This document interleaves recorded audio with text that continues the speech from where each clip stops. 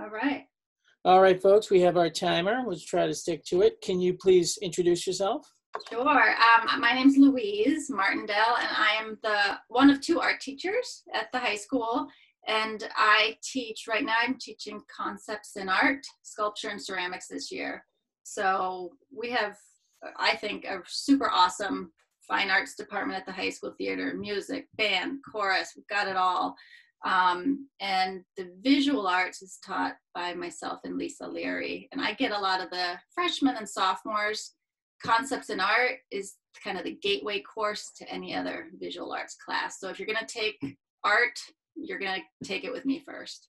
Yeah, and you know it's such a strong community. The the kids who are really into creating art, it's like a very distinct group of kids. Like absolutely, really dedicated. Yeah. yeah there's um you know northampton's kind of i would say like a funky arts hotspot you know? Mm-hmm. there's a lot of art a lot of culture um, and a lot of the students that come through the high school you know it's not necessarily about being an artist but it's kind of about like i don't know accessing your inner creativity. And there's a lot of skills that you get in those studio classes that are applicable to anything you do right yeah. Um, so yeah, absolutely. Yeah, it's a lot of problem solving. You know, when you're when you're working on a piece of clay or working on a canvas, you're you're really thinking. So, yeah. what do you like about teaching freshmen? Oh my goodness. Um, I like freshmen. Well, freshmen, they're fresh, right? They come in, we're new, we're vulnerable. Um, and I like to think of the students that come into the high school kind of as an open canvas, right? And we're all figuring out who we are. I'm still figuring out who I am, right? Yeah. I think when we come to the high school, we're at a time where we're kind of an open book. And so I love teaching freshmen because they always surprise me. And I feel that I'm learning more as a human and I'm growing more as a human every day because there's so much they have to give to me. And so it's a real reciprocal relationship. There's um, a lot of risk taking that happens in my classes, um, a lot of surprise, a lot of experimentation. And I think freshmen are just at that time where they're willing to try anything, which I, it's just so, so inspiring. Yeah, yeah. Yeah. It is so cool. It's By the way, it reminds me of that. Do you ever see that movie Six Degrees of Separation? With Kevin Bacon? No, no, no. That's different. That's, That's Six different. Degrees of Kevin yeah. Bacon. But, yeah, no, I have. should check it out sometime. This guy at one point he has this dream. Yeah. And he's an art dealer, and he's, he's yeah. dreaming about his kid's school, and he's talking to the art teacher, and he says, "Why is it that your kids, um, all their artwork is just genius? You know, right. like, and it's in it's second grade or something like that, and then." How do you make that how do you make them do that art? And, and the mm-hmm. teacher says i don't i don't tell them what to do with their art. I just know when to take it away from them yeah. which is an interesting kind of scene. Yeah. I'll, I'll send it to you on I'd YouTube. love to see that yeah. Yeah it's a great movie. It's a lot about art in that movie. Yeah. It's it's interesting too because you know a lot of students when they come to me there's there's often a lot of fear you know and i think eh, with anything with any subject matter but with art i see a lot of freshmen coming in and you know oh I, I i, can't draw. I don't know how to draw. Yeah.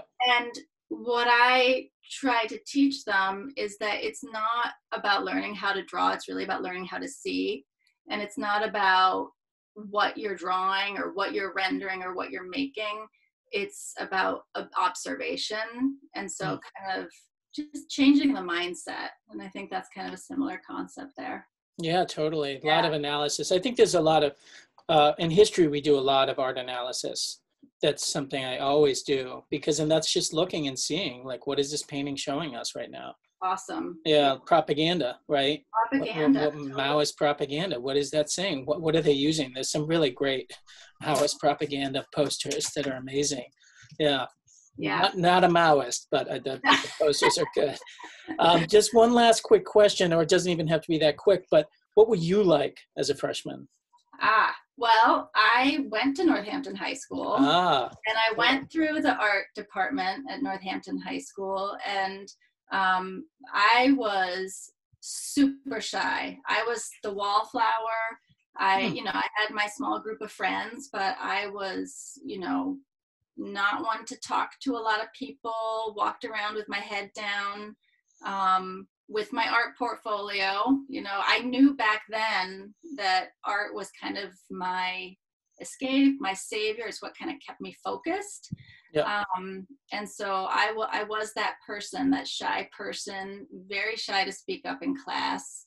And I used art to kind of get my voice to come out. And so I think, you know, it was interesting you talk about the, the Maoist posters because, you know, thinking about art as a mode for communication and the way we all communicate so differently. Um, and so that was kind of the vehicle where I was able to find my voice and That's break so cool. shell. Yeah. That's so cool. Well, you've totally broken out of your shell, which is awesome. Yeah. Yeah. To be a teacher, you kind of have to. Oh, it's really such a great profession. It really is. Yeah. All right. Well, if you guys have uh, Louise, you're very lucky, and you'll be seeing her shortly.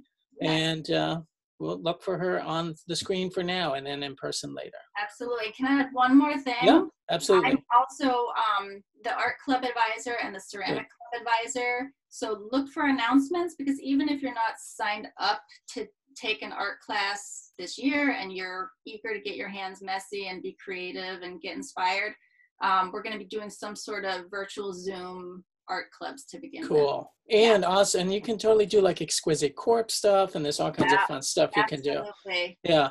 Now the the other thing is is that we're gonna the page for the clubs is going to be updated and present and all that because all this is still happening. Oh, Yeah. So I'm glad you mentioned it. Yeah, awesome. Awesome. Thanks, All right. Thank you.